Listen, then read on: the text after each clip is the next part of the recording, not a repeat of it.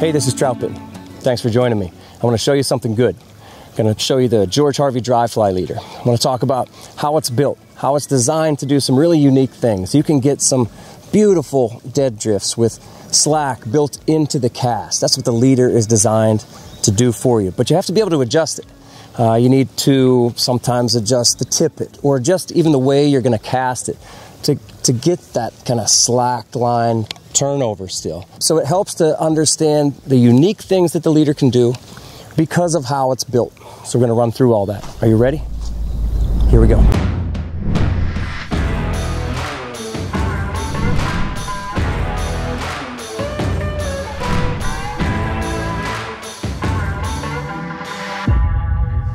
So the Harvey is a slack leader design, and that means you can cast and get that slack that necess- those necessary S curves to your dry fly in the cast. So with that intentional casting, you can build these S curves throughout the whole leader, not just in the tippet section, but even in the butt section and especially in that middle section.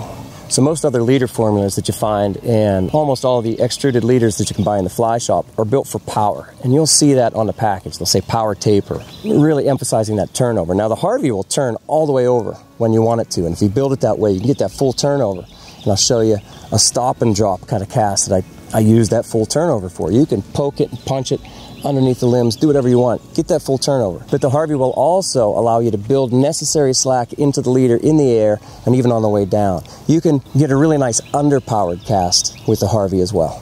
So listen, dry flies need slack, right? For it to drift drag free, it needs slack. And most leader designs and dry fly casting styles will have you put the line on the water, often straight out, and then mend to give that dry fly slack. To me, it's too late. It's too late to do that. I'd much rather build that slack, as I'm talking about, into the cast, and so it's going to land. The fly lands with the tippet and a lot of the leader having these S curves behind it to give it that necessary slack to drift the right way. So fly lines have the power. Fly lines are doing the job of pushing the unweighted dry fly out there. I don't need the power in my leader. I don't want that much power in my leader. The fly line does the job. And what we want to do, what I want to do with this Harvey leader is dissipate the power from the fly line. It almost has too much power. It has, it's a good thing, but then I want to take that power out. That's what the leader is designed to do with kind of this compound taper that I'm going to show you. So how do we do this? How do we generate that necessary slack and all those nice S curves? There are two ways I'm going to show you here in a minute. I do a stop and drop, and then I do a lagging curve. And let's get to that. But first, let me show you uh, the recipe, the leader formula, and the way it's built. All right, let's look at what makes the Harvey leader different. It starts with the butt section. This is Maxima Chameleon 15 pound. Uh, mic's out at 0.015 inches. And now most other leaders are 0.020, 0.022, even 0.025 diameter, way thicker, and therefore more powerful. Again, there's plenty of power built into this Maxima Chameleon butt section. So this is 15 pound. It's about, I don't know, 20 inches right now. And then this is 12 pound. This is 10 pound. This is the 8 pound. And you'll notice again that each one of those sections gets shorter, a little longer, and then shorter, shorter, and shorter. That's your butt section into your midsection. Now here, we transition to tippet material. And you can see that color change from the brown chameleon to this is Orvis Super Strong. That's 2X. And now watch, this is going to get longer to 3X, longer to the 4X section, and then to my last section, of 5X, in this case, about two and a half feet long for my terminal tippet. Now that's the thing. It's the butt section diameter being thicker. And then the other thing that really is the magic to the Harvey leader is the way it got, the taper goes progressively shorter, shorter, shorter, in the stiffer material and then longer, longer, longer in the tippet material. All right, so there's a lot to this, and I don't want to leave you hanging or wondering about things. You need the full recipe. That's going to be in the description below, the description for this video. I also have written two or three articles on Troutbitten about the George Harvey leader design. I'll leave those links to those articles in the description below. And if you don't want to tie the knots, I do sell these leaders, you know, pre-made on the Troutbitten shop. Hey, real quick, I want to show you my favorite pair of waders. This video is sponsored by Skwala, and I'm excited to be working with them because they're making some of the best apparel in the industry right now. These are the Skwala Carbon waders. I've been wearing these for almost 100 days now. These have almost 100 days on them with no issues. So don't sleep on the carbons. Skwala also makes the RS wader, sort of a full featured wader with, you know, the zipper, thicker material, and more pockets. But they built the carbon wader to be light, tough, and durable, and super comfortable, and that's exactly what they are. The legs are articulated with kind of an athletic cut, and the material is light and breathable, making it easy to spend all day on the water. The suspenders are padded without adding extra bulk. And this magnetic drop down design here with no buckles allows for super quick conversion to waist high. And you don't need a built in zipper to relieve yourself. The carbon waders are all about comfort and durability. And I think that's what we're all looking for out here. Check them out at skwalafishing.com. And you can get 10% off your order by going to skwalafishing.com and using the discount code TroutBitten10. Thanks to Skwala for supporting the Troutbitten Project and keeping all of us comfortable and ready on the water. So let me show you a couple really cool things we can do with this leader in the presentation. So two things I really want to show you that you can do with this leader. Works really well. Um, the first one is a stop and drop. It's really a standard cast, 10 o'clock, 2 o'clock. I'm to stop it. I'm not to drop it yet. I'm to stop it and, and the leader's to go all the way out. I do get that full turnover. The leader's to go all the way out. Kind of gets to the end, it sort of shocks back. It doesn't have any weight, of course. The dry fly is air resistant, so it gets out and kind of starts coming back a little bit, and that's when I'm dropping the rod. This all happens bang bang, but that's when I'm dropping the rod. So as the, as the fly's coming back and the leader's kind of relaxing, then I'm dropping the rod and putting even more slack into the system. And again, you can you can get very accurate, just as accurate as you want to be with these tactics with this leader. Once you get used to it, I'm here. I'm going stop and drop.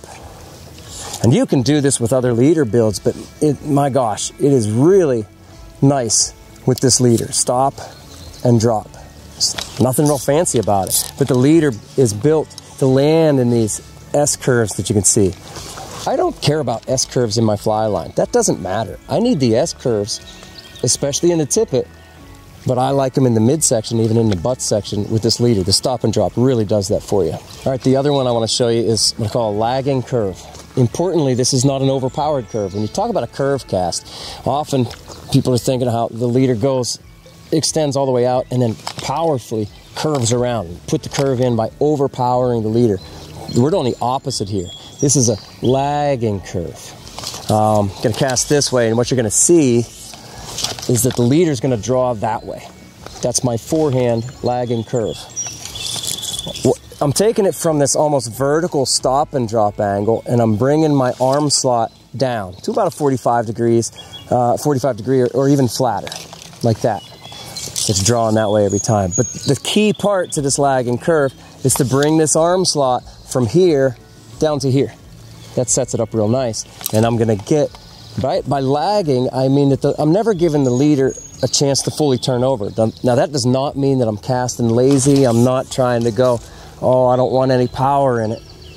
Because that's not gonna work for you. You're not gonna have the accuracy there. You're just backing off the power and, and the punch. You kind of feel it at the, at the rod tip a little bit.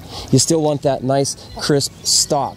But the leader does the work of giving you that lagging curve. Show you a couple times here. I have the fly landing to the right in this case uh, of the fly line. That one's nice. That one's real nice. You can really then get the curve part upstream of your dry fly. Now, I'll show you the stop and drop and the lagging curve in dedicated videos coming up someday. I even have a fish along series that's coming out and you know some first person stuff of actual fishing. Put all this together and you'll see the lagging curve over and over and how it really works for you. Same thing with the stop and drop. I should also mention uh, we have why you need a forehand and a backhand for casting right? And that, that, that just goes for all types of casting. But here for this lagging curve my if i drop my arm here i'm going to get that curve to draw that way well if i, I don't want to draw the curve that way uh, on my backhand side so i bring my my arm slot this way, and now I can draw a curve that way. You got your forehand curve, lagging curve, and your backhand lagging curve. You got to have both. We have a full video out for that. All right, that leads me to my last point. We need to adjust the tippet section to match the conditions. Again, if it's windy, I'm going to need a little bit more power in that tippet, and especially to match uh, the air resistance of the dry fly. And notice I said air resistance and not necessarily size, because it's the air resistance, the bushiness, how it holds itself back uh, in the air. Those qualities of the fly are what matter.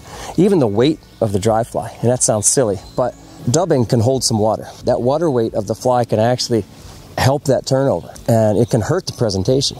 Because again, what we're trying for here is a lagging curve. I'm going to have my baseline cast, my baseline cast, and I can get more powerful or I can back off that a little bit and get a little bit more of a lag. So if that cast is turning over too much, then I need, well, less power in the leader. So I will lengthen the tippet section or go lighter, maybe even to 6x. And if the opposite is happening, if I just can't get it to turn over with that baseline cast, then I need more power in the leader. So I might go to 4x or I'll go shorter on the tippet section. There's a lot to it. You just got to go out there, try it yourself. Be very willing to make those changes and just see how it goes. That's the only way to learn is do it yourself. All right, there's a lot more to be said here, but that should give you a really good start on the Harvey Dry Leader. Remember the full formula, the leader build is in the description below. Those article links are down there. And if you want to buy a Harvey leader in the trout bitten shop, they're there for you. Remember, it is slack on the surface to the dry fly that sells the dead drift. So get out there, fish hard, friends. Have fun.